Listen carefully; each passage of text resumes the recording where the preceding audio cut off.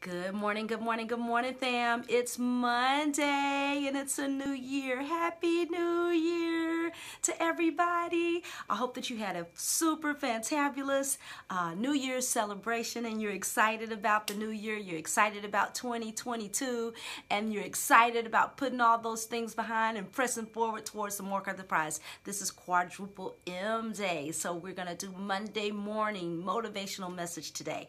The Monday morning motivational message today is going to be really, really simple because we've been talking about a lot of things just over the last couple of weeks. So today's Monday morning motivation message is get to it get to it. Listen, we talked about the things that we were going to change in our life. We talked about getting it done. We talked about writing our list. We talked about make good decisions. We talked about releasing those bricks. So this Monday morning motivational message is just get to it.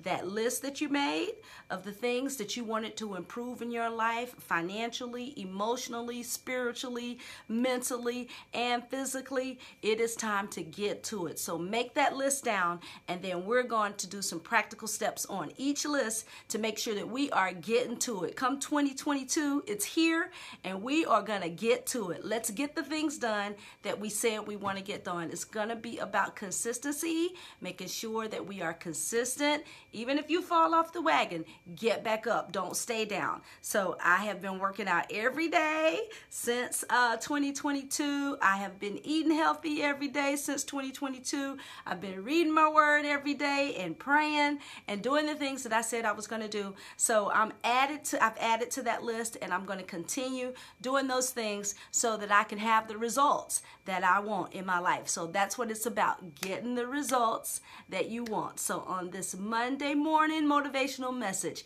very simple but full of impact get to it. So wherever you are and whatever you're doing, I hope that you have a super fantabulous day. If you are still off, because today is the official July, um, I'm sorry, January 1st uh, off day for you, then enjoy your day off. If you back on the grind and back working, then make the most of it. And uh, I shall see you on the next video. How about that? Mwah. Happy Monday.